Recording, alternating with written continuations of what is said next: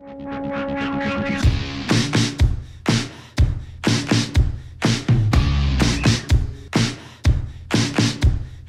is Andrew. And I'm Thomas.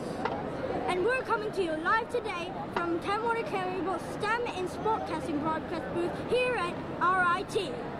We're excited to look at the signs you'll see in this classic football match. So now, let's get back to the game.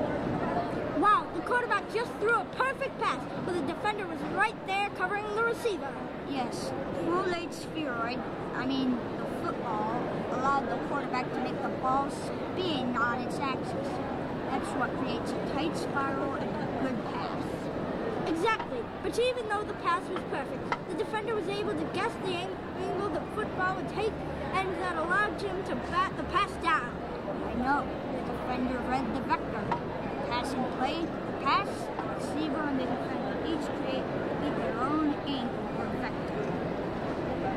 To second and ten, the quarterback fakes a pass, looking for the receiver, finds him at the goal line, throws a prolate spheroid, I mean football, ball is in the air. The receiver and the defender are both there. The receiver catches the ball and tucks it away. Yes, touchdown!